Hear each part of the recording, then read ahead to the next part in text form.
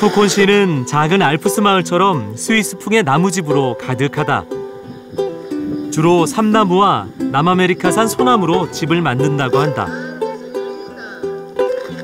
푸콘시에서 가장 관광객들이 즐겨 찾는 곳은 나무 공예 기념품 가게다. 다양한 모양과 디자인의 나무 공예품이 즐비하다.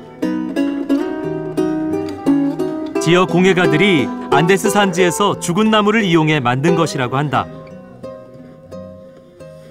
안데스에서는 허가 없이 사한 나무를 베는 게 금지돼 죽은 나무를 이용하지만 시간이 지나면 더 아름다운 색이 배 나온다.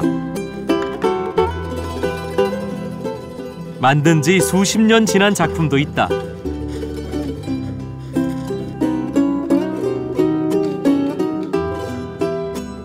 Madera nativa de Pucón. Sí. Más de 100 años tiene la madera. De una pura pieza tenemos. Todo en cordillera Andes. Sí. ¿Mm? Toda la madera de acá nativa. No trabajamos con madera insertada, como se dice. Toda de acá de la zona. Raulí, radal y castaño.